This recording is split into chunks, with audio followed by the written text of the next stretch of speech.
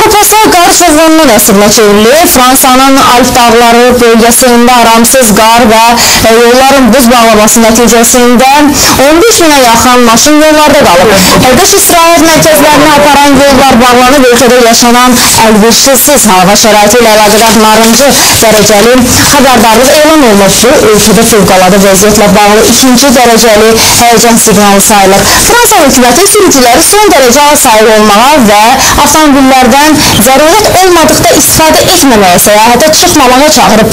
Qar çovğunu həmçinin İsveçrənin bəzi hissələrini və Almaniyanın cənub-qərb bölgəsində də müşahidə olunub.